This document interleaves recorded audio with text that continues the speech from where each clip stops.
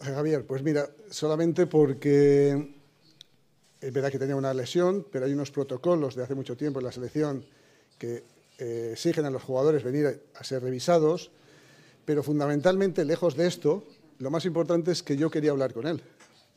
Y yo quería verle, quería que conviviera unas horas, que no creo que lo que Costa ya lo hizo encantado, con sus compañeros y sobre todo yo quería transmitirle tranquilidad, confianza. Es un chico de 16 años y entiendo o entendía que nadie mejor que su entrenador, en este caso, el seleccionador, para decirle, estate tranquilo, recupérate bien, tienes todo nuestro apoyo y vas a recuperarte muy pronto porque queremos tenerte de nuevo pronto con nosotros. ¿no? Ese fue el motivo que estuvieras con nosotros.